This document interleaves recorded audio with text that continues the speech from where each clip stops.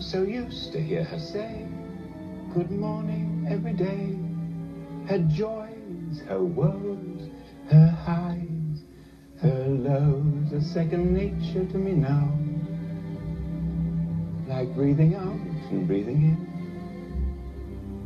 I'm very grateful she's a woman and so easy to forget. Rather like a habit one can always break.